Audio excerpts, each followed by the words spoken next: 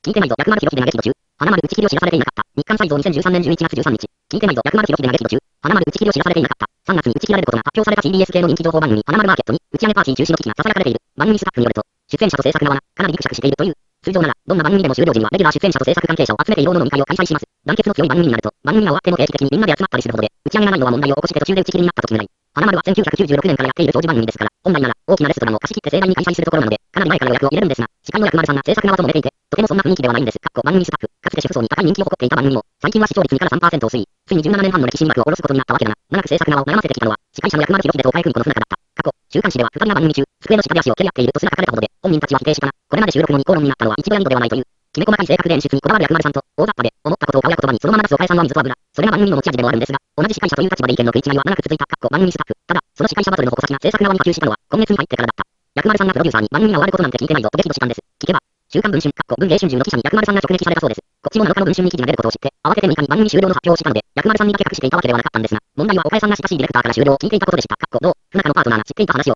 自分は知らされていなかった。そんな疑問を抱いた薬丸は、別の番組関係者に岡江さんが降りるって話じゃなかったのと聞いてきたという。岡江さんは、親の介護もあって、体力的にそろそろ番組を降りたいというのを5年ぐらい前から言っていたが、対して薬丸さんは3年後の50歳までやりたいと主張。そのため、金曜の放送分は6にして、岡江さんだけを休ませたりもしてきた。なので、薬丸さんからすれば番組への貢献に自負もあったと思います。まさか岡江さんが降りるから終了になったんじゃないよねとすら言っていました。かっこどう前出スタッフによると、さらに薬丸さんはこんな終わり方するなら、来年は曲までしっかやればいいという話ほど起こっていたと聞きました。でも、番組が終わること自体はスタッフに罪がある話ではなく、視聴率が悪かったので仕方がない話。これにはスタッフたちの薬丸さんに対して反感を持ったといい、とても打ち上げパーティーをやれるような空気ではないようだ。このあたりについて TBS はまだ先の話ですし、そのような話は聞いていませんと否定したが、ほのぼのとした雰囲気が持ち味だった番組の舞台裏が、なんとも殺伐としてしまった。かっこ文イコール敗勢安だ。石原さとみが生に挑戦結構難しい。日刊スポーツ2013年11月11日。石原さとみが訛りに挑戦結構難しい。石原さとみ、かっこ26主演の東京新国立劇場公演ピグマリオン、かっこ13日から12月1日のフォトコールが11日、同劇場で行われた。同作は、ミュージカル、マイフェアレディの原作となったバーナード・ショーの同名戯曲の舞台版で、石原は下町の花売り娘イライザ役を演じる。ひどい訛りを話す役に挑戦する石原は、ハ行を言えないような人に伝わりにくくて、結構難しい。気持ちを込めて言ったとしても伝わらなかったラインがないので、口を大きく開けたり、わからない排気ノートをクリーンに発してみたりとか工夫をしていましたと苦労を明かした。また、物語の中では成長を遂げる役を演じるにあたって、自身が最近成長したことについて問われると体調をコントロールできるようになりました。今までは乾電池みたいに突然切れる感じだったけど、そういうのがなくなりました。と笑顔で話した。舞台には、平武宏、かっこ39、小坂井和樹、かっこ57らも出演する。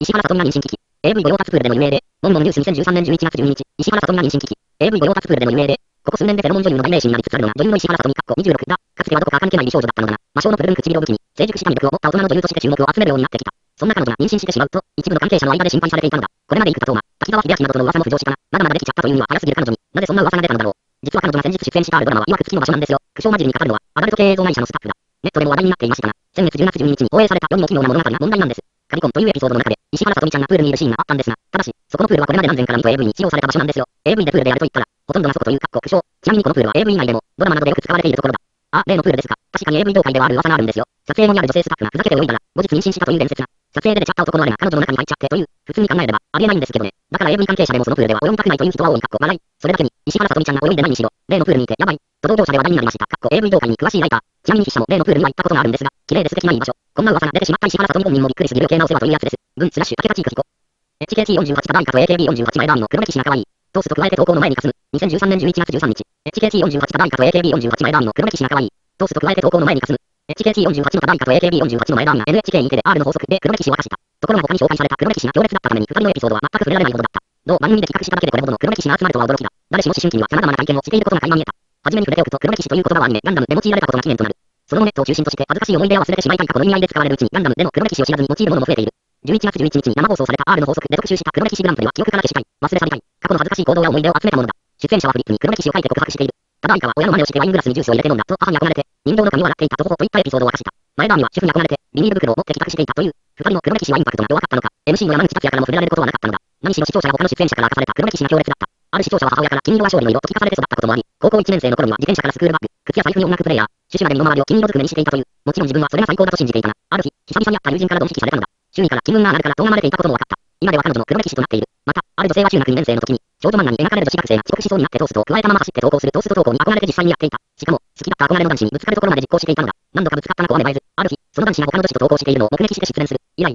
トースト投稿はやめてしまい、今は黒歴史である。一番、インパクトがあったのは出演者の際によるジャージ投稿のエピソードだ。彼女は当時、ドラマ、極戦で仲間由紀が演じた先生ランクに憧れて彼女のような赤いジャージの上下を着て、メガネをかけ、髪を二つ結びにして学校に通ったのだ。しかも、一年間それを続けたのである。おおらかな興奮だったのか誰からも注意されなかったそうだ。このジャージ投稿が黒歴史グランプリに選ばれたが、彼女は大喜びしており果たしてこれは黒歴史なのかどうか。R の法則で紹介された黒歴史は世間に明かすことで自分も気が楽になるという程度のものだろう。実際にただいかな、ただいか、Google プラスでみんな恥ずかしい黒歴史ありますか？外にかけたな。多くの人があるけど、ここには書けないやと答えている。黒歴史なのだから、そういう答えもあるのが当然だ。芸能界では本人はともかく世間から黒歴史と噂されるエピソードが多い。北川景子がテレビドラマ、美少女戦士セーラームーンで女優デビューした件は黒歴史とされてきたが、彼女自身が当時のセーラー戦士メンバーと交流していることを無論で明かして以来、黒歴史と言われることは少なくなった。シンガーソングライターの長渕剛がメジャーデビューする前に大学時代を過ごした福岡のシングーレインの CM ソングを歌っている。福岡で今でも放送されるその CM には、シングーレインと美しい彼の歌声が流れ、テロップに長渕剛と当時の表記で名前が表示される。この CM を長渕の黒歴史とする説がある。芸能人にはこうしたエピソードがつきものだな。特に恋愛スキャンダルの黒歴史はあげればきりがないだろう。それを思えば、ただいから前段が可愛くさえ感じる黒歴史しか持っていないことにほっとさせられる。かっこテックインサイトジャパン編集部、牧泉。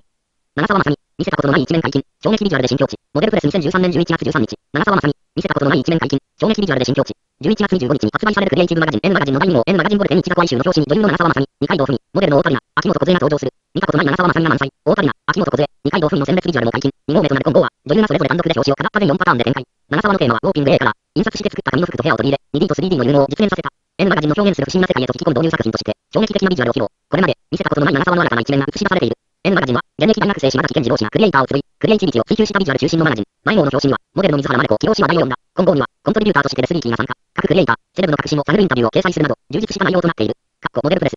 高橋みなみ、卒業の意思明かす、出ていかなければいけない。2013-11-13、高橋みなみ、卒業の意思明かす、出ていかなければいけない。AKB48 の高橋みなみが、12日深夜放送のバラエティ番組、押しかけスピリチュアル、かっこテレビ東京系、毎週火曜夜11時58分からに出演し、グループ卒業に対する考えを明かした。同番組は、人と対面することでオーラやしもれを感じ取る能力を持つスピリチュアル女子大生、地が、芸能人のいる場所へ押しかけて悩み事や未来の姿に切り込むスピリチュアルバラエティ。高橋は彼女の大ファンであることを公言するジャーナリスト田原総一郎氏と共に登場し、対象者の性格や歩んだ過去によって色や大きさが変化するというようなうちに見てもらうことに。紫色が強くて、紫は情の色なので、すごく頑張り屋だし負けず嫌いの部分もある。気になるのが腰、ちょっとくすんでる感じなんですよね、と切り出したちに、あは、と思わず笑いを漏らした高橋。今腰腹筋というか、すごい言われましたお医者さんに。腰の裏の肝臓とか気をつけて、て、疲れから来てるみたいとその的中ぶりに驚きの表情を見せた。卒業やれないファンが気になる話題に言及。また、前田敦子、板野友美ら初期メンバーの相次ぐ卒業を受け、田原から高皆さんは AKB を卒業する気はあるのと問われるとありますときっぱりと明言。現在 AKB48 グループの総監督を務めている彼女だが、ずっといるっていうのも一つのあり方だと思うんですけど、出ていかなければいけないだろうなとは思いますと将来的にグループ卒業の意思があることを明かした。さらにトークは気になる恋愛の話題へ。かっこ相手が現れるのはすごい後だと思うんですよね。20代後半ぐらいかな。好きなったりしても、かっこ踏み込んでいけないと思うんですよ。かっこち。すごいコントリ肌立っちゃった。踏み込む勇気がないかもしれない。かっこ高橋。恋愛本当にできなそうだなと思って、かっこち。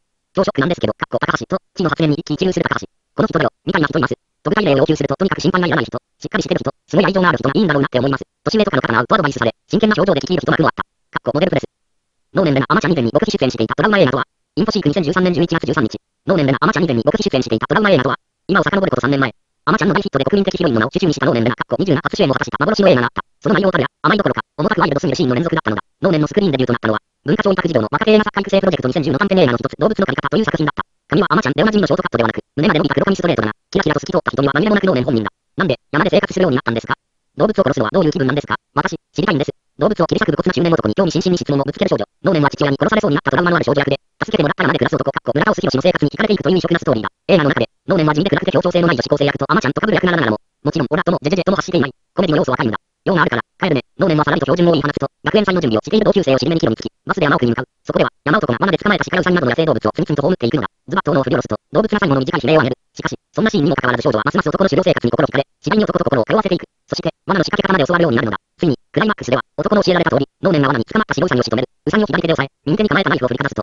右、ウサギは小さな悲鳴を上げ、絶命してしまうのだ。こんな簡単に死んじゃうんだ。能年の右手は赤く染まり、まさに、オラ、両親になるという同点のクライマックスシーンとなった。命の儚さと尊さを訴える良作ではあるが、アイドル女優の初主演作品として名打つのは避けられているのか。10月28日に能年が出演したサベクリナナ、日本テレビ系では、プロフィール欄には映画初出演は告白と紹介されていた。やはりこの作品がトラウマになっているのかも、アイドル評論家の小田裕二氏が解説する。公式ホームページにはしっかり作品名が明記されていますよ。冒頭のシーンで能年が山地に倒れている姿は、長い黒髪に、高い鼻、色白の肌、締まった頬、一瞬、アマちゃんで共演した橋本愛かと見間違えたかと思いました。役柄のせいもあるが、女優がいかに化けるものかを改めて痛感させられました。マイナー作品とはいえ、彼女のファンなら全員必見の映画でしょう。ただし、アマロスを揺らすために作品を見ると、ジェジェジェとなること受け合いなので要注意。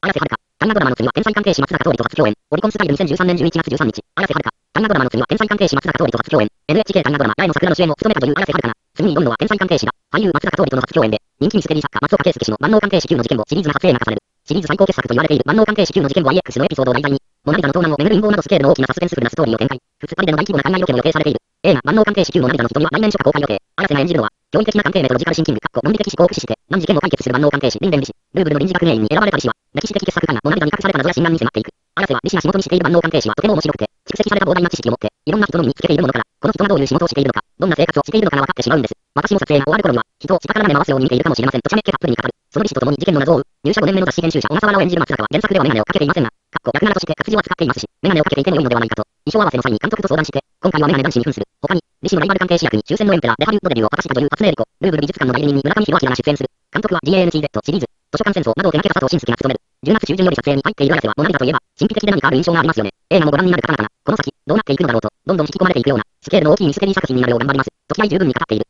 関東連合、見かけ新日フィリピン台風被害かカンボジア潜伏説の浮上。ボンボンニュース2013年11月13日。関東連合、見かけ新日フィリピン台風被害かカンボジア潜伏説の浮上。関東連合、コロン六本木アウトローの正体。六本木クラブ襲撃事件で国際指名手配されている元関東連合幹部の見かけ新日容疑者、34が、今回のフィリピン台風で被害にあったのではないかとしてアウトロー界隈で話題になっている。2012年11月にフィリピンに渡航したのを最後にその足取りが途絶えており、同地に潜伏しているのではないかと言われてきた。そのため、今回の台風下に巻き込まれたのではないかという噂が浮上しているのだ。渡航当時、三竹氏は複数人のボディガードと共に高級別荘地に潜伏しているといった情報がありました。噂されている地区は今回被害がそこまでではなかったと言われています。現地に詳しいライター、そもそも潜伏説を信じるならば台風雲も考えてしまうのだな。写真週刊誌フラッシュに見立て容疑者が日本に戻ってきていると、アウトローの談話として情報が掲載されたこともある。いや、少なくともあの情報は全くのせだと言われていますね。かっこ笑い。当局の確認も取れなかったと言われています。またフィリピン潜伏はすでにしていないという説が現在は有力。三竹さんは顔を変えてとっくによそに渡っているという。一部では伝説のアウトロー、後藤忠正氏も暮らす。カンボジアにいるといった説もあります。どれもあくまで噂なのですが、かっこ業界関係者、また当局がフィリピン台風の法人被害者リストをチェックした。という週刊誌記者の指摘もある。先日はクラブ襲撃事件の実行犯である二人に懲役13年が言い渡され、今後石本太一氏らも公判を待つんだ。しかし、残虐天使と言われる一方、カリスマアウトローとも言われた三竹容疑者だけは、未だその行方は分かっていないのが現状だ。文スラッシュ原田総一。バンドエイジの暴露で話題、直毛の本当の値段。日刊現代2013年11月13日。